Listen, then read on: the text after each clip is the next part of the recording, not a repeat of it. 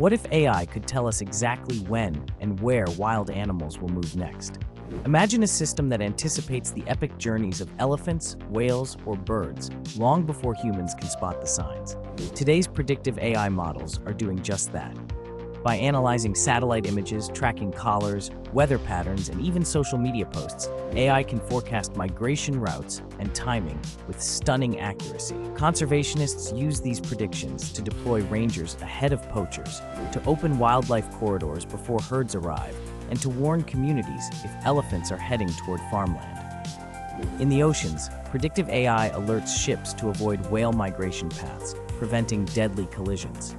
This isn't just theory. AI-powered tools are already protecting endangered species, like sea turtles and monarch butterflies, by forecasting their movements and adapting conservation plans in real time. AI is the silent guardian of our wild world, watching patterns we can't see and giving us the power to act before it's too late. Follow to see how AI is predicting a future you haven't imagined yet.